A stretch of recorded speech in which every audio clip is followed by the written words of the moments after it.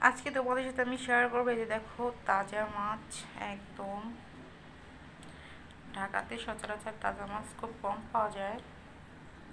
তাই ভাবলাম তোমাদের সাথে শেয়ার করি। আশা করি তোমাদের ভালো লাগবে।